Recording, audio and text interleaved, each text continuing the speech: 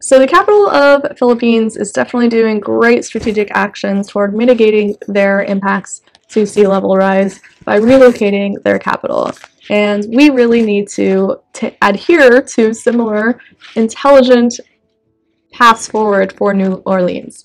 New Orleans should be relocated. A lot of our funding should be relocated toward creating a safer New Orleans in a safer location that's not as impacted by natural disasters.